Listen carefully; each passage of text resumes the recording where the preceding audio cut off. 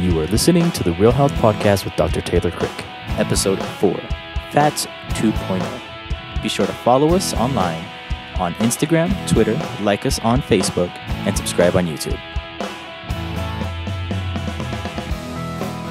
Welcome to the Real Health Podcast. I am your host, Dr. Taylor Krick, and today I want to talk to you about essential number three your nutrition, maximizing your quality nutrients. But we're talking again about the most misunderstood topic in all of nutrition, and that is fat.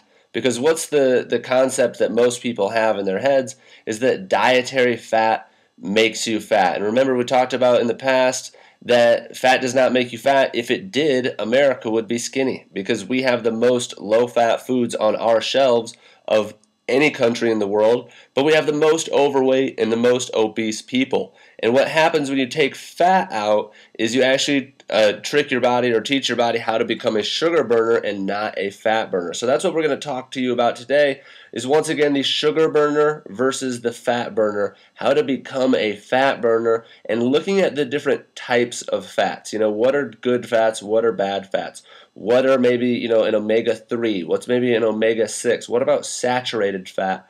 What does all of that mean uh, and what do those do for our bodies? And so first off starting with though we got to start with the misconception because what most people even if they've heard this information before you still you've just been conditioned for so long that if you are at the grocery store and you're looking at uh, say for example a greek yogurt okay? So that's you know one of the the health foods uh, of the last couple of years which you know we can talk about that later how healthy that really is but if you're looking at that food, for example, and you see one that says low fat and one that says nothing or says full fat, maybe, most Americans have been conditioned to always go for the low fat version. And what that does is they've taken out the fat that is naturally in there. So, first off, it makes the food not taste as good. So, most of these foods, they're going to have added sugar to sweeten it up because it's not going to taste right because they've taken the fat out. And you know, fat was really had really become the enemy, you know, through the the 70s and 80s, the, the real low fat movement. Um, but that's what the way that all of us are conditioned. So they take this fat out. But the other thing that they that it does is by not giving your body enough fat, your body becomes a sugar burner. So many of us are taking in not enough fat Fat is actually, in my opinion, the number one missing nutrient in the American diet. Good, healthy fats. And we're replacing it with sugar. So instead of being a fat burner, our bodies are sugar burners. And we talked about in past uh, podcast episodes the difference between being a fat burner and a sugar burner. And if you think of your body's metabolism, you think of metabolism as a wood burning stove. Okay, so think of your house as being heated by a wood burning stove. Maybe you have an old home or you know a cabin or something. That's that's the only way that the house is going to be heated is if this stove is running. So being a sugar burner, that's like using nothing but kindling. So if you're using nothing but kindling on your wood burning stove, you're going to have to sit next to that thing all night long and throw a handful of sticks on, a handful of sticks on, you know, leaves, uh, newspaper, whatever's easy kindling. It catches fire really quickly, creates a burst of heat, a burst of metabolism, burst of energy, but then it crashes and then you crash. And that's your mood swings throughout the day and the crashes and the mid afternoon crash. Whereas the opposite is being a fat burner. Your body's most efficient form of fuel. That's like throwing a big log on, right? So you can throw a big log on when you go to bed, and your house will stay warm throughout the night, and you can be pretty certain that there's still going to be fire in the morning. Throw another big log on, get that going, and you're going to be burning all day, and you're going to stay warm. So, in your body, fat is your most efficient fuel, but that's oftentimes just not what we're burning. So, one of the ways, the first step, the first thing that you have to do to turn your body into a fat burner is cut out sugar. You know, because if you th- keep throwing kindling on the fire, it's going to catch fire quickly. It's the fire's going to keep eating that up, right? Um, so you want to cut out all the sugar that that includes, you know, the obvious sources like candy, um, ice cream, things like that, soda. Soda's the biggest one.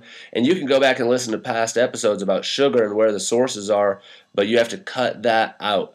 so that your body can become a fat burner. Then the second step is you have to start increasing these good fats. And so that's what I want to talk about is what is a good fat versus a bad fat. We talked about this a little bit in the last uh, fat episode, but we, we talked about, you know, nature doesn't make bad fats. Factories do, right? God doesn't make bad fats. Those are not foods by God, they're foods by man. So the foods like coconut oil, olive oil, butter, lard, natural foods are great fats. The bad ones are the ones that come from a factory.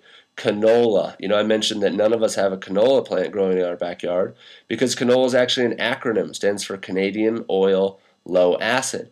Uh, cottonseed oil, soybean oil, and those aren't necessarily you know foods by man, but those oils, the way that they're prepared, the way that they're processed, they've become rancid and they're horrible for your health. They cause inflammation throughout the body, which leads to heart disease, can lead to other inflammatory diseases, which inflammation is really at the root cause of many of our disease processes that we have today. So we've got to cut out these bad fats, these foods by man. So those are the bad fats. The worst ones are the oils. You can go back and listen to the past episode about how you can change your oils and get rid of those because those are rancid. But those are trans fats that are in those oils, hydrogenated and partially hydrogenated oils.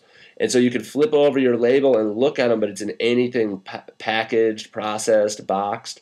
And here's the top 10 worst trans fat foods, or the top 10, you know, hidden sources or highest sources where you're going to be getting these from. And you might be surprised at some of them. Uh, soups, soups number one. Spreads, so spreads like, you know, for your bread or for uh, jams, things like that. Fast food. There's an obvious one. You know, you get a ton of bad stuff from fast food, but one of the worst is the trans fats. Uh, frozen foods. And these trans fats, too, one of the crazy things, you can look at a, uh, the ingredients of like a McDonald's here in America, or you can even look at the ingredients of Pringles, of Oreos, and then you look at them in other countries and in Europe, they don't use these fats because they're not allowed to. So you can make that you can do these things without these fats, but this is where we're getting in our country they use the American recipe because they're allowed to. So frozen foods, freezer foods, that's one of the worst. Baked goods, anything baked. Breakfast food, anything that's packaged that you're going to get for breakfast. Um, it, packaged food is the next one. Anything that comes in a package, you can almost guarantee is going to have some trans fats or some hydrogenated oils. Toppings and dips, another big one. Cookies and candy, chips and crackers. Another one that's not on here that I know is, a hidden source is uh, salad dressing. You know, so a lot of us were switching to salad, but then we're putting these bad, you know, Hidden Valley Ranch on top or Thousand Island or something that you know might have these hydrogenated oils, these trans fats in them. So you got to get rid of those. You got to change your oils. Go back and listen to the past episode to learn what oils you can switch over from, but you got to get rid of the bad fats first. The second thing is, you know, then you got to look at your good fats and increase them. So what are the good fats? and what are the types? Well, first off, I'll go through some examples of what are good fats. So things like olives, olive oil, avocado, avocado oil, coconut, coconut oil, all really good. Uh, salmon, good source of omega 3 fats. Flaxseed, chia seed, nuts, uh, and especially your grass fed and free range animal products. Really good source of good fats. So when I say good fats, what exactly am I talking about? What are these good fats that we're trying to increase? And there's a lot of different uh, nomenclature names out there for different fats. You know, there's saturated fats. So that's the first one that I'll talk about. But then there are different unsaturated. There's mono unsaturated. There's poly unsaturated. There's omega 3, omega 6, omega 9. There's medium chain, there's short chain, there's long chain. There's all these different names for fat. So I want to break it down a little bit and help you guys understand uh, which ones are good and maybe some misconceptions that you've had in the past of where you're getting these fats from and what you want to watch out for. So the first one that I want to talk about is, you know, really misunderstood and that's your saturated fats. Okay, and so the common misconception, and even if you do a you know Google search, good fats versus bad bad fats. The bad ones that they're always going to have in most, you know, USDA food pyramid, things like that, Um, the bad ones that they're going to say are the trans fats, like we just talked about, and saturated fats. But they're finding out through research uh, that that is just not true at all. Okay, and so this is becoming more public knowledge. But some of the foods that are higher in saturated fats are things like our animal products. Uh, also, things like tropical fruits, like coconuts, really high in saturated fats. And what they've actually shown now is the original, you know, back in the 60s, there was research done by a guy named Ancel Keys, who, who's originally, who, who came out with saturated fat being the villain, you know, being a cause of heart disease. What they found now is that, you know, uh, countries around the equator, or cultures, populations around the equator where they eat more coconut, more saturated fat from coconut, they actually have lower risks of heart disease because of the saturated fats. They're actually cardioprotective, and saturated fat is a necessary uh, necessary for every function in your body. So it's necessary for survival, I should say. You have to have saturated fats. You can't not have them. And healthy fats in general are completely necessary for every function in your body. So healthy fats build cell membranes. This is saturated, unsaturated, all these healthy fats.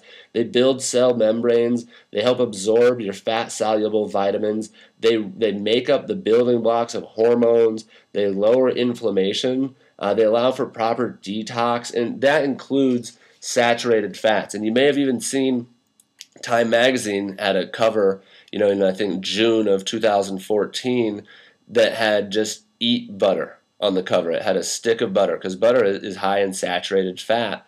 And but what they're showing, and you can look back, you know, 25 years ago, where they had a same cover that said the opposite. You know, cholesterol is bad, saturated fats are bad.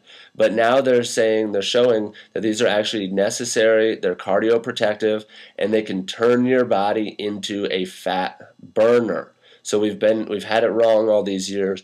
Eat butter, eat your grass-fed animal products eat coconut products. So coconut products are a huge one. You know, changing your oils. We talked about coconut oil being the number one oil to cook with, especially at high heat because it's a very stable oil. But there's a thousand other uses for coconut oil. You can use it as a teeth whitener, as a skin moisturizer, as a hair gel. I know people that use it as hair gel. You can do oil pulling, which you can uh, it helps your oral hygiene, helps your teeth. Uh, you can use it for uh, we use it on our babies, you know, for their diaper rash. It's a it's an antimicrobial, it's an antibacterial, so you can rub it on cuts. There's a lot of things that you can use coconut oil for. There's also nowadays coconut everything. You know, and if you're at Kroger, you're at Harmon's, you're at Smith's, you're at your standard grocery store, there might not be as much of a selection, but even at those, even at, at the Walmarts, there's starting to be coconut products. At Costco, Costco is awesome. They've got some great coconut products.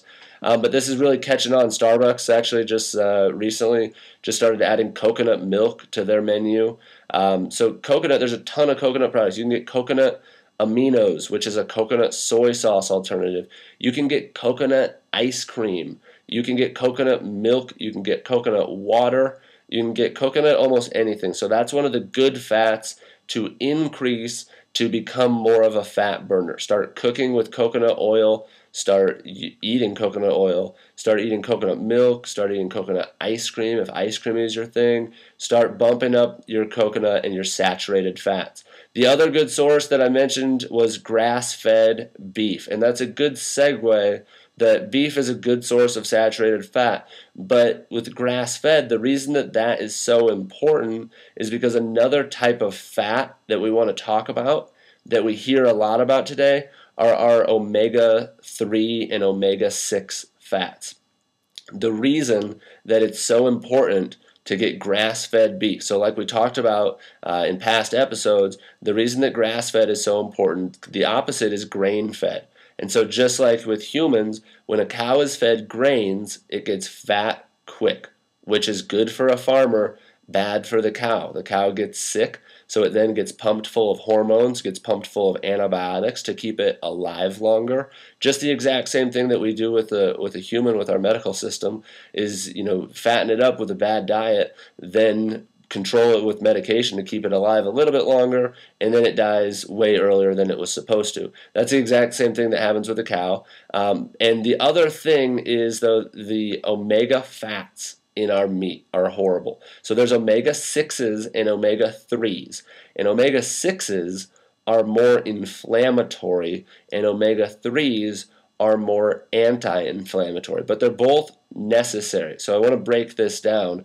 What's skewed in our country is the ratio, the ratio of omega 6 to omega 3. And so when we hear a lot about omega 3s, taking our fish oil, uh, taking our krill oil, things for omega 3s supplement wise, we think of those being cardioprotective or protecting against heart disease or inflammation. Well, the reason why is because our ratios are so far off. What they've found when they test us in our country is we can be anywhere between 20 to 1, that's 20 omega 6s to every one omega 3, to even up to 50 to 1, which is crazy because the ideal ratio should be closer to 1 to 1 maybe two to one. The highest that I've ever seen anybody talk about is four to one being the ideal ratio. And we're at 20 to one. So at least five times, and in some cases over 10 times, what the normal ratio is for the inflammatory omega 6s. So that leads to weight gain, that leads to heart disease, that leads to cancer, that leads to diabetes, that leads to hormonal problems. Inflammation is at the root cause of almost every disease. So we want to look at our omega 6s and our omega 3s. Grass fed beef, they found, has the ideal ratio of about 1 to 1 to 2 to 1 to 4 to 1, depending on the source, but a lot better than 20 to 1. And that's what they've found when they've tested conventional beef, is that's what's skewing our, our, our uh, ratios so bad, is all the meat that we eat with the bad fats, the high levels of omega 6s. So you have to change your meat products, you have to switch over to grass fed beef so that you can regulate these fat levels. Okay, and so omega 3, you know, those that's your EPA, DHA. So you may have heard of that, you know, for kids, for brain development. You know, my babies take a EPA, DHA supplement. That's the animal version of omega 3s. The other omega 3 is called ALA. That's what you get from like flax seeds, from chia seeds, different seeds, the plant version of an omega 3. One thing that vegetarians have to watch out for with omega 3s is that ALA. So, say you're even taking an omega 3 supplement that's a plant based version, maybe you're vegan, you have to take more ALA because ALA has to be converted in the body to EPA and DHA. So that's the that's fish oil, that's krill oil, uh, that's what most omega supplements are. But if you are vegan, vegetarian, you're taking a vegan omega supplement, or you're getting your good fats from nuts, from seeds, you've got to eat more of them to get these to get the good omega threes. Uh, the other good sources, the best source uh, the most, the, the highest percentage, you know, is going to be cold water salmon. That's a really, really good source that you get from your diet. So you want it to be wild caught salmon. Another thing you can look for is sockeye salmon because sockeye, it, it will never say that it's wild caught or farm raised because it's illegal to farm raise sockeye. So it's always going to be wild caught. So that's a good source of omega 3s. So when you're looking back at these different types of fats, uh, the the other thing is medium chain. You know that's a really good source of energy. That's your coconut products. But when you're looking back at all these different types of fats that we want to increase, the first one in the base of this fat food pyramid is changing your animal products, getting free range eggs, free range chicken, grass fed beef. That's incredibly important, not just for the protein, not just for the toxins, for the hormones, for the antibiotics, but for the right fat ratio is Really, really important. So then you could also, you know, switch over organic butter, you know, these other animal products, most important thing to switch over first. Then you could start increasing things with monounsaturated fats like olives, olive oil, avocados. So you can start eating those, adding those in. You should have a good fat with every single meal. So a good one is, you know, slice up avocado in with your scrambled eggs. There's a couple good fats in that meal for breakfast. Maybe for lunch, you drizzle olive oil over a, a chicken salad or, you know, something like that. Or you have a snack of veggies and hummus. And in your hummus, there's chickpeas, but there's also olive oil. So you're getting a good fat with your snack, or maybe you're snacking on nuts and seeds. Then you want to increase your medium chain triglycerides, which are coming from your coconut oil, your saturated fats, and medium chains. So that's your coconut products, coconut milk, coconut ice cream, coconut aminos, coconut flour, uh, coconut oil.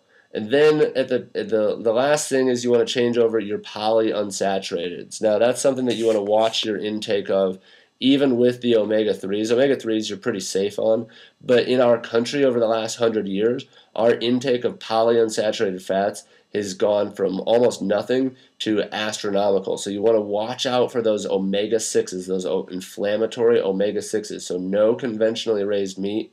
Uh, and then stepping up on the omega 3s, raising the salmon, uh, and doing some other things like other cold water small fish, sardines, anchovies. Really, really good source there.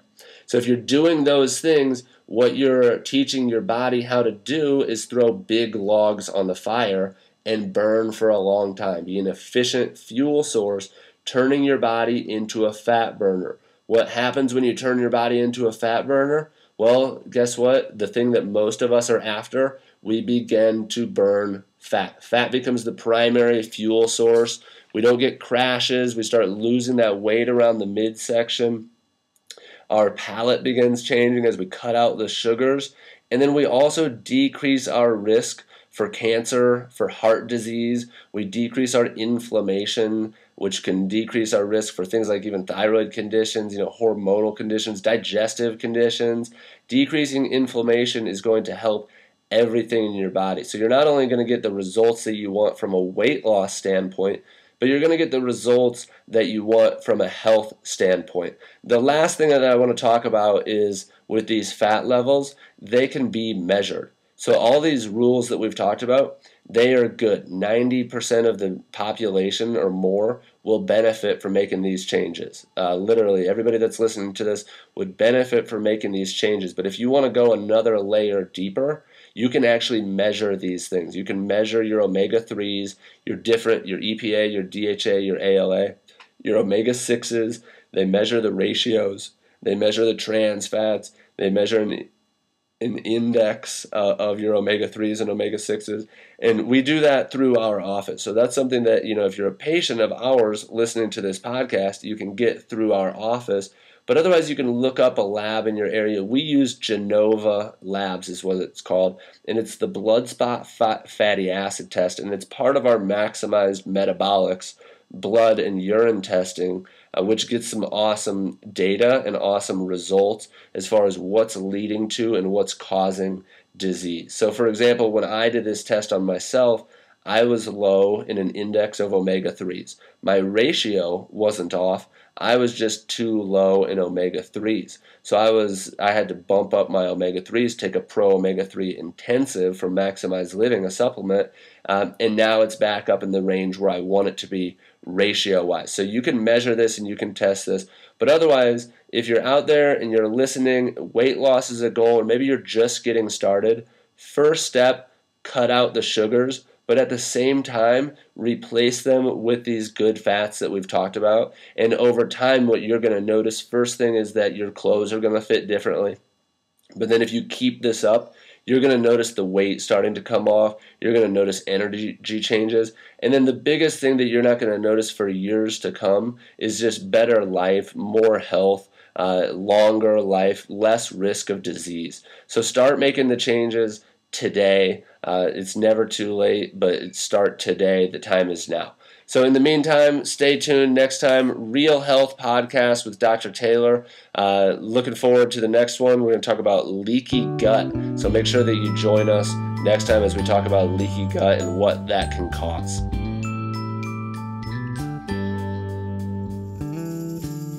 Thank you for listening to the Real Health Podcast with Dr. Taylor Krick. This episode has been sponsored by RealHealthResource.com, your go to resource for everything health, nutrition, and wellness. Be sure to like us on Facebook, follow us on Twitter and Instagram, and of course, please visit our website at RealHealthResource.com.